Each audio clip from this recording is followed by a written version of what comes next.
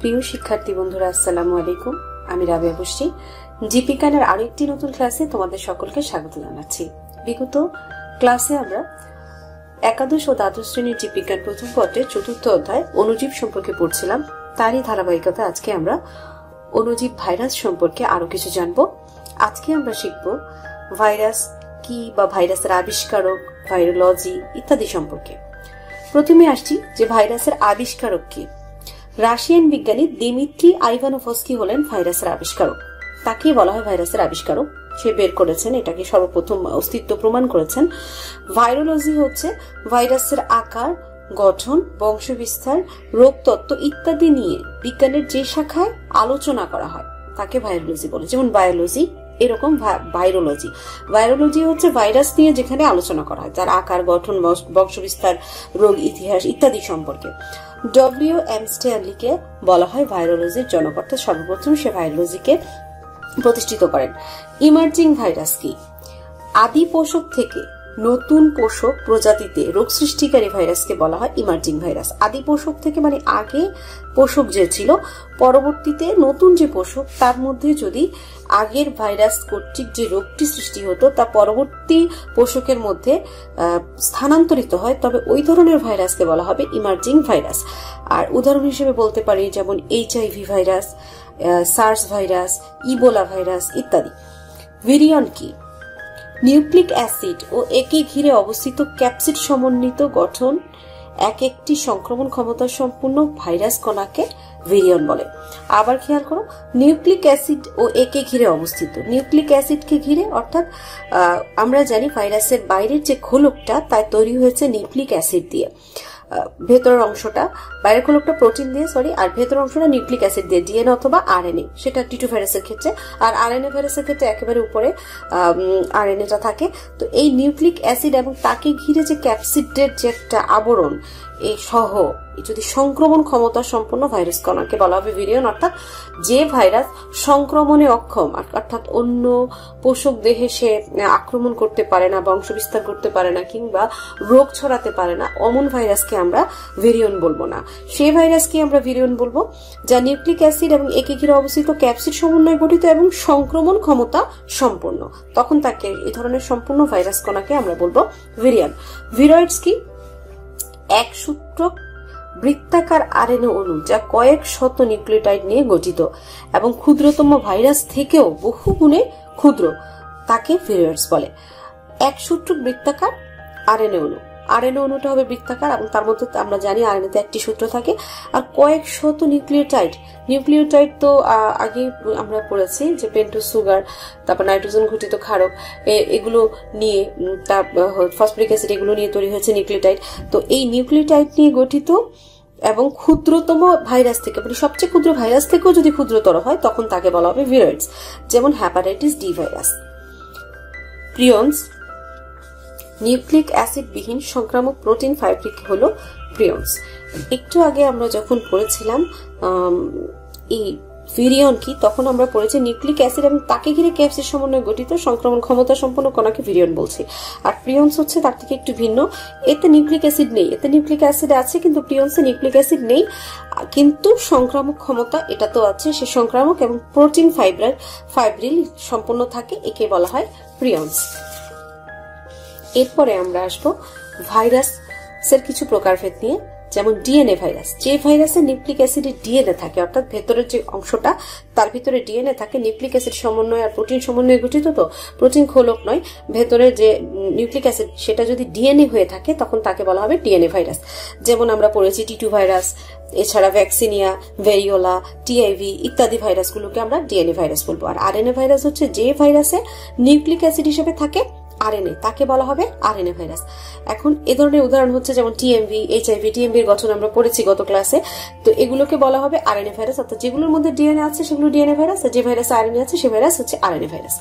উদ্ভিদ ভাইরাস, উদ্ভিদ দেহে যে সকল ভাইরাস রোগ সৃষ্টি করে, অর্থাৎ উদ্ভিদ দেহে রোগ সৃষ্টিকারী ভাইরাসকে আমরা বলব উদ্ভিদ ভাইরাস, যেমন টিএমভি, বিওয়াইভি, এগুলো সরাসরি উদ্ভিদে বিভিন্ন রোগ সৃষ্টি করে। তাই এরা হচ্ছে উদ্ভিদ ভাইরাস। আর প্রাণী ভাইরাস হচ্ছে প্রাণী দেহে রোগ সৃষ্টিকারী ভাইরাসকে আমরা প্রাণী ভাইরাস বলব। তো প্রাণী দেহে রোগ সৃষ্টি করে, যেমন এইচআইভি এইডস রোগ সৃষ্টি করে প্রাণীদের ভ্যাকসিনিয়া ইত্যাদি যে ভাইরাসগুলো রয়েছে, অর্থাৎ প্রাণীকে আক্রমণ করে, উদ্ভিদকে নয়, তাদেরকে আমরা বলব প্রাণী ভাইরাস। লিপো ভাইরাস হচ্ছে লিপিড এবং প্রোটিন আবরণ বিশিষ্ট ভাইরাসকে আমরা বলব লিপো ভাইরাস অর্থাৎ যার মধ্যে লিপিড আছে এবং প্রোটিন আছে। একসাথে আমরা তাকে বলব লিপো ভাইরাস পেপলোমিয়ার লিপিড বা লিপোপ্রোটিন স্তরের একককে, অর্থাৎ লিপো প্রোটিন স্তরের এক একটা ক্ষুদ্র ক্ষুদ্র একককে আমরা একেবারে ছোট ছোট এককগুলোকে আমরা বলব পেপলোমিয়ার সায়ানোফাজ সায়ানো ব্যাকটেরিয়া ধ্বংসকারী ভাইরাসকে। সায়ানোফাজ বলে অর্থাৎ সায়ানো ব্যাকটেরিয়া নীলাভ, সবুজ যে ব্যাকটেরিয়াগুলো আছে, সেই ব্যাকটেরিয়াগুলোকে ধ্বংস করার জন্য যে ভাইরাসগুলো রয়েছে, তাদেরকে আমরা বলব সায়ানোফাজ কারণ আমরা ফাজ জানি হচ্ছে যে সকল ভাইরাসকে ব্যাকটেরিয়া ধ্বংস করে সরি যে সকল ব্যাকটেরিয়াকে ভাইরাস ধ্বংস করে, তাদেরকে বলা হয় ফাজ তো সেই হিসাবে সায়ানো ব্যাকটেরিয়াকে ধ্বংস করে বলে এর নাম সায়ানোফাজ যেমন এলপিপি ওয়ান এলপিপি টু ইত্যাদি। আর ফাজ ও ব্যাকটেরিয়াফাজ কি?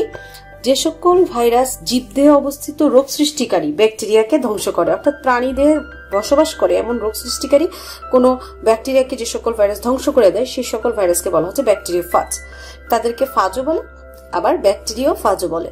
যেমন হচ্ছে টিটু ভাইরাস। পরবর্তীতে আজকে আমরা আরও শিখব ভাইরাসের বংশবৃদ্ধি সম্পর্কে।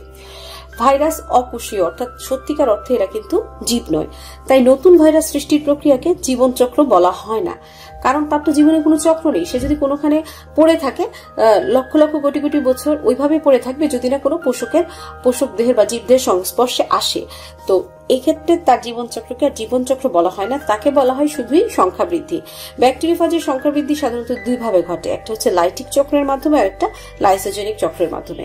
তোমাদের জন্য ইম্পর্টেন্ট সবচেয়ে বেশি লাইটিক চক্র, তাই সেটাই আমি বিস্তারিতভাবে বর্ণনা করছি। লাইটিক চক্রটা কি? যে প্রক্রিয়ায় ফাজ ভাইরাস পোষক ব্যাকটেরিয়া কোষে প্রবেশ করে সংখ্যা বৃদ্ধি সম্পন্ন করে এবং অপত্য ভাইরাসগুলো পোষক বিধারণ করে বের হয়ে আসে। অর্থাৎ ব্যাকটেরিয়াকে আক্রমণ করবে, তার ভিতরে ভাইরাস প্রবেশ করে সেখানে সংখ্যা বৃদ্ধি করবে এবং বৃদ্ধি করে সে ব্যাকটেরিয়া দেহকে বিদীর্ণ করে যখন বের হয়ে আসবে, অর্থাৎ ব্যাকটেরিয়াকে মেরে ফেলবে ও কোষটা নষ্ট হয়ে যাবে, ব্যাকটেরিয়া কোষটা বিদারণ ঘটিয়ে বের হয়ে আসবে। তখন এই ধরনের সংখ্যা বৃদ্ধির উপায়টাকে বলা হচ্ছে লাইটিক চক্র। টিটু ব্যাকটেরিওফাস ইকলায় ব্যাকটেরিয়াকে পোষক হিসেবে ব্যবহার করে লাইটিক চক্রের মাধ্যমে সংখ্যা বৃদ্ধি করে। তাহলে আমরা উদাহরণ হিসেবে পেয়ে গেলাম ইকলাই আর হচ্ছে টিটু নিচে টিটু ব্যাকটেরিওফাজের সংখ্যাবৃদ্ধি প্রক্রিয়াটি আলোচনা করা হলো। এই ক্ষেত্রে টিটু ব্যাকটেরিওফাজ ইকোলাই ব্যাকটেরিয়ার কোষ প্রাচীরে আক্রমণ করে রিসিপ্টর সাইটে আবদ্ধ হয়। অর্থাৎ নির্দিষ্ট স্থানে যেখান দিয়ে প্রবেশ করতে পারবে, ছিদ্র করে সেখানে আবদ্ধ হয় এবং স্পর্শক তন্তুর সাহায্যে টিটু ব্যাকটেরিওফাজ ব্যাকটেরিয়ার কোষ প্রাচীরকে দৃঢ়ভাবে সংযুক্ত থাকে। একটু লক্ষ্য করলেই দেখতে পাবে এখানে।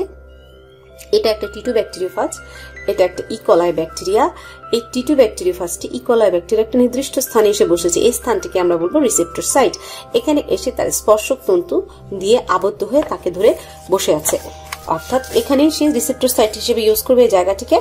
কোষপ্রাচীর দৃঢ়ভাবে সংযুক্ত হবে। পরবর্তীতে টিটু ব্যাকটেরিয়াফাস ইকোলাই ব্যাকটেরিয়ার প্রাচীরটা ছিদ্র করবে এবং ছিদ্র করে ডিএনএটি ব্যাকটেরিয়ার অভ্যন্তরে প্রবেশ করিয়ে দিবে আর টিটুফাজের শূন্য প্রোটিন খোলকটি বাইরে থেকে যাবে।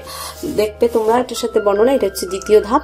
তৃতীয় ধাপের দেখো, এই ধাপে ভেতরে ডিএনএ ছিল টিটুফাজের ভেতরে। এই ধাপের টিটুফাজের ভেতরে কোনো ডিএনএ নেই, অর্থাৎ সে এই প্রাচীরটা, অর্থাৎ ব্যাকটেরিয়ার বাইরের কালো প্রাচীরটা ছিদ্র করে তার ভেতরে ডিএনএটি প্রবেশ করে দিয়েছে। ডিএনএ দুটি প্রবেশ করে দিয়েছে, এটা তো দ্বিসূত্রক ডিএনএ দুটি ডিএনএ প্রবেশ করে দিয়েছে, এটা ফার্স্ট ডিএনএ আর এটা হচ্ছে ব্যাকটেরিয়ার ভিতরকার ডিএনএ অর্থাৎ ইকলাই ব্যাকটেরিয়ার এটা হচ্ছে নিজস্ব ডিএনএ আর এখানে প্রবেশ করেছে ভাইরাসের ডিএনএ আর বাইরে পড়ে আছে টিটু ব্যাকটেরিওফাজের শূন্য খোলকটি প্রোটিনের যে খোলকটি সেটি বাইরে পড়ে আছে। পরবর্তীতে ফার্স্ট ডিএনএটি ব্যাকটেরিয়ার অভ্যন্তরে প্রবেশ করার পর একটি বিশেষ প্রোটিন সৃষ্টি করে, যা ব্যাকটেরিয়াল ডিএনএ কে খণ্ড বিখণ্ড করে নষ্ট করে দেয়। তৃতীয় ধাপে তোমরা দেখবে যে এই ডিএনএটি অর্থাৎ ভাইরাস ডিএনএটি টিটোফাজের যে ডিএনএটি এটা প্রবেশ করার পর ব্যাকটেরিয়ার যে নিজস্ব ডিএনএটি সে ডিএনএটি এই টিটুফাজের যে ডিএনএটি সে তার শরীরে তার প্রভাবে এমন একটি প্রোটিন সৃষ্টি করে, সে প্রোটিনের প্রভাবে, রাসায়নিক পদার্থটির প্রভাবে এখানে ব্যাকটেরিয়া ফার্স্টটি খণ্ড বিখণ্ড হয়ে নষ্ট হয়ে যায়। অর্থাৎ ব্যাকটেরিয়ার ডিএনএটি খুব দ্রুত খণ্ড বিখণ্ড হয়ে নষ্ট হয়ে যায়। ব্যাকটেরিয়াল ডিএনএটি প্রায় বিলুপ্ত হবার পর ফার্স্ট ডিএনএটি নিজের ইচ্ছে মতো নতুন ফার্স্ট ডিএনএ প্রতিলিপন করে। তো ব্যাকটেরিয়াল ডিএনএটি প্রায় বিভিন্ন হয়ে আসছে, অর্থাৎ, নষ্ট হয়ে আসছে। এরপরে এই ফার্স্ট ডিএনএটি ভেতরে বিভিন্ন ছোট ছোট ছোট ছোট ছোট ছোট ডিএনএ অসংখ্য ডিএনএ তৈরি করেছে। অর্থাৎ নিজের মতো প্রতিলিপিত করছে।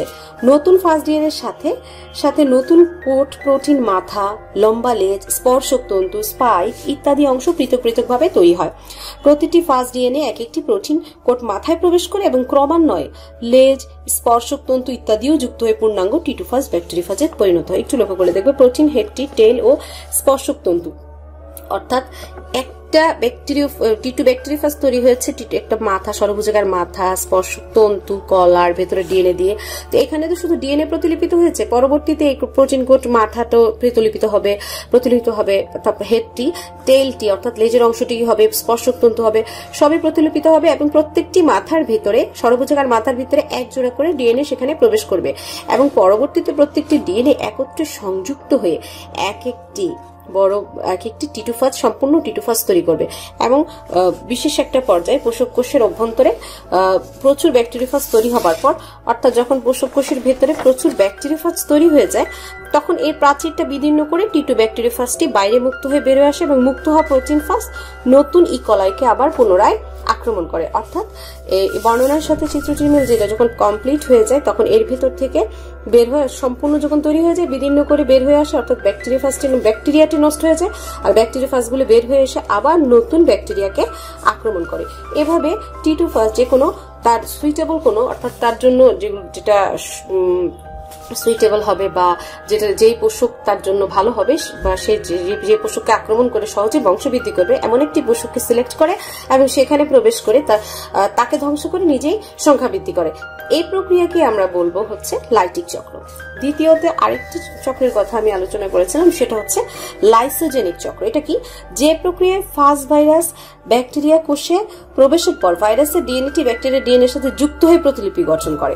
অর্থাৎ নতুন করে তৈরি হয় তাকে লাইসোজেনিক চক্র বলে, যেমন ল্যামডা ফাস পিওয়ান ফাস এক্ষেত্রে আমরা আগেরটি পড়েছিলাম যে ভেতরে প্রবেশ করে ব্যাকটেরিয়া ডিএনএ কে ধ্বংস করে দেয়। কিন্তু এখন লাইসোজেনিক চক্রে ভাইরাসের ডিএনএটি প্রবেশ করার পর ব্যাকটেরিয়াল ডিএনএ ধ্বংস করে না। ব্যাকটেরিয়াল ডিএনএর সাথে যুক্ত হয়ে বরঞ্চ সে তার সংখ্যা বৃদ্ধি করে। তো এই প্রক্রিয়াকে আমরা বলব হচ্ছে লাইসোজেনিক চক্র। আজকে ভাইরাসের সংখ্যা বৃদ্ধি এ পর্যন্ত। পরবর্তীতে ভাইরাসের অর্থনৈতিক গুরুত্ব সহ অন্যান্য বিষয় নিয়ে আমরা আলোচনা করব। সে পর্যন্ত ভালো থাকবে। আল্লাহ হাফিজ।